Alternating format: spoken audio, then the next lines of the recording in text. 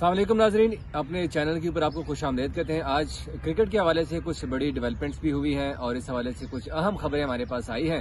ये तमाम तर खबरें आपके साथ शेयर करेंगे क्योंकि हमारे जराए ने पीसीबी के अंदर से कुछ खबरें निकाली हैं। ये खबरें कुछ हैं सिलेक्शन कमेटी के हवाले से कि सिलेक्शन कमेटी के नए मेंबर्स कौन से हो सकते हैं सिलेक्शन कमेटी के इख्तियार क्या क्या होंगे।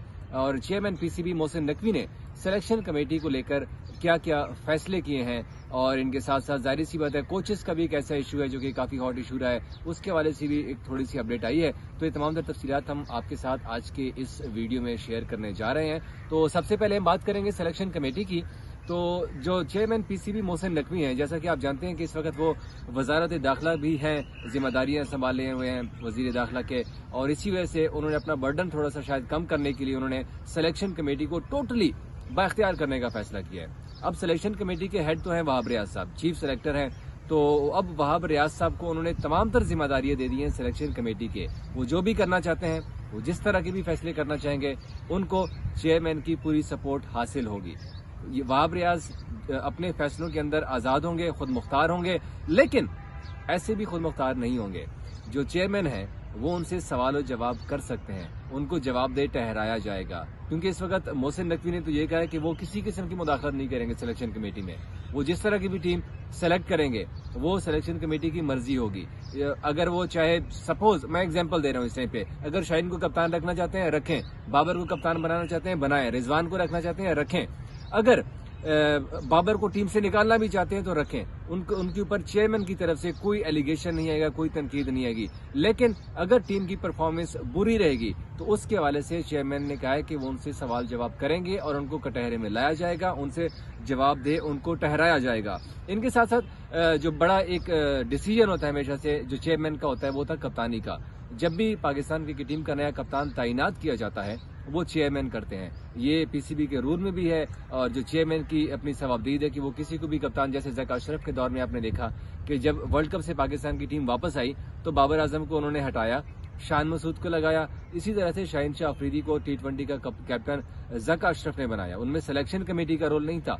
अब ये इख्तियार भी चेयरमैन ने सिलेक्शन कमेटी को दे दिया है कि अब सिलेक्शन कमेटी की मर्ज़ी है कि वो जिसको मर्ज़ी कप्तान बनाए। लेकिन सवाल जवाब ज़रूर होगा। अब इसका मतलब है कि वहाब रियाज का इम्तिहान जरा मुश्किल शुरू होने वाला है, क्योंकि वहाब रियाज पहले तो अपने सिलेक्शन कमेटी बना ली टीम सेलेक्ट कर ली, अब है कोचेस की मर्ज़ी। कोचेस जिस तरह मर्ज़ी करें, कप्तान जैसे मर्ज़ी खिलाएँ तो सिलेक्शन कमेटी ने अपने हाथ खड़े कर देती थी। तो अब ये वाला सीन नहीं होगा। अब मोहसिन नकवी, जो कि नए चेयरमैन हैं, उन्होंने कहा है कि अब सिलेक्शन कमेटी से भरपूर तरीके से सवाल जवाब करेंगे कि भाई टीम की परफॉर्मेंस क्यों नहीं आ रही है?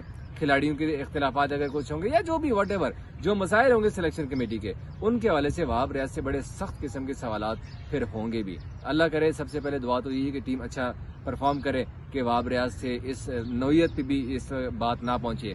दूसरी जो बात है, वो सिलेक्शन कमेटी की फॉर्मेशन के हवाले से। इस वक्त जो सिलेक्शन कमेटी है, उनके हेड जैसे कि मैंने आपको पहले बताया कि वहाब रियाज हैं चीफ सेलेक्टर हैं। उनके साथ साथ जो सिलेक्शन कमेटी के मेंबर्स हैं, वो वजाहतुल्ला वास्ती हैं। वसीम हैदर हैं और तौसीफ अहमद। ये तीन सिलेक्शन कमेटी के मेंबर्स हैं और उनके साथ दो कंसल्टेंट भी हैं। पाकिस्तान के सबक wicket keeper batter Kamran Akmal और राव इफ्तार अंजुम। इस वक्त मौजूदा टाइम के ऊपर वो कंसल्टेंट के तौर के ऊपर काम कर रहे हैं। लेकिन अभी ये कंफर्म नहीं है कि आया या यही सिलेक्शन कमेटी आगे भी कंटिन्यू करेगी, क्योंकि न्यूजीलैंड के खिलाफ सीरीज़ आ रही है। उसके लिए भी टीम सेलेक्ट होनी है और अभी तक तो जो हमारे पास इन्फॉर्मेशन है कि 25 तारीख से कैंप लगने जा रहा है काकुल के अंदर फिटनेस कैंप होगा। इसमें जो न्यूजीलैंड के खिलाफ सीरीज़ में जो लड़के थे, जो कि वहाँ पे दौरा करके आए हैं, वो तो होंगे होंगे। सेंट्रली कॉन्ट्रैक्टेड जितने भी प्लेयर्स हैं, वो तो शामिल होंगी। उनके साथ साथ जो पीएसएल के टॉप परफॉर्मर हैं, जैसे जानदाद खान ने अच्छी परफॉर्मेंस दिखाई थी, ख्वाजा नाफे ने परफॉर्मेंस दिखाई है, और भी कुछ नए नाम हैं, मोहम्मद अली हैं, उन्होंने बड़ी शानदार परफॉर्मेंस दिखाई है। तो इस तरह के भी कुछ नाम ऐसे हैं, जो कि इस कैंप में बुलाए जा सकते हैं अभी तक तो जो हमारे पास इन्फॉर्मेशन है कि 25 तारीख से कैंप लगने जा रहा है काकुल के अंदर फिटनेस कैंप होगा। इसमें जो न्यूजीलैंड के खिलाफ सीरीज़ में जो लड़के थे, जो कि वहाँ पे दौरा करके आए हैं, वो तो होंगे होंगे। सेंट्रली कॉन्ट्रैक्टेड जितने भी प्लेयर्स हैं, वो तो शामिल होंगी। उनके साथ साथ जो पीएसएल के टॉप परफॉर्मर हैं, जैसे जानदाद खान ने अच्छी नेशनल मैचेस के लिए, उसके बाद फिर स्क्वाड के हवाले से बातचीत होगी। लेकिन कोचेस के हवाले से भी आज कुछ डेवलपमेंट हुई है पीसीबी में।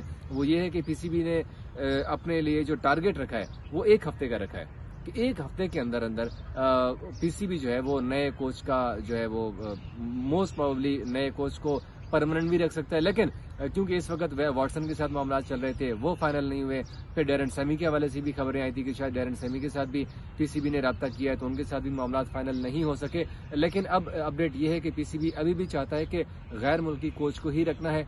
अभी कुछ बंदों के साथ रबते में है, पीसीबी, बातचीत चल रही है। इनिशियल स्टेजेस के ऊपर है, सारा कुछ अभी, लेकिन एक हफ़्ते के अंदर अंदर पाकिस्तान के नए कोच के हवाले से भी बहुत बड़ी डेवलपमेंट हो सकती है। नए कोच की तैनाती भी हो सकती है, लेकिन चूँकि न्यूजीलैंड की सीरीज़ काफ़ी करीब आ गई है तो ये भी पॉसिबिलिटी है कि इस वक्त अगर परमानेंट कोच नहीं हो सकते तो फिर कंसल्टेंट किसी को रखा जा सकता है। क्योंकि पिछले दौर में हमने देखा कि पाकिस्तान टीम के साथ जो कोचेस थे, वो कंसल्टेंट के तौर पर आए थे। परमानेंट कोचेस नहीं थे तो कंसल्टेंट काम कर रहे थे। तो इसी तरह से भी इस सीरीज़ में भी ये हो सकता है कि पाकिस्तान टीम का कोच परमानेंट तो ना हो, लेकिन एज ए कंसल्टेंट किसी फॉरेन कोच को हायर किया जाए, उसके बाद फिर जो प्रोसीजर होता है, जो लीगल वे होता है कि एक अखबार के अंदर इश्तेहार दिया जाता है, उसके बाद फिर कोच की तैनाती की जाती है। तो अभी पीसीबी तो ये चाह रहा है कि वो एक हफ़्ते के अंदर अंदर ये टारगेट उन्होंने रखा हुआ है कि नए कोच की तैनाती की जाए और पीसीबी कभी भी उम्मीद है कि वो गैर मुल्की कोच ही रखेंगे। ये तमाम तफसीत हमारे पास आई थी। मजीद भी इस तरह की क्रिकेट के हवाले से जो अपडेट होंगी, हम आपके साथ शेयर करेंगे। Thank you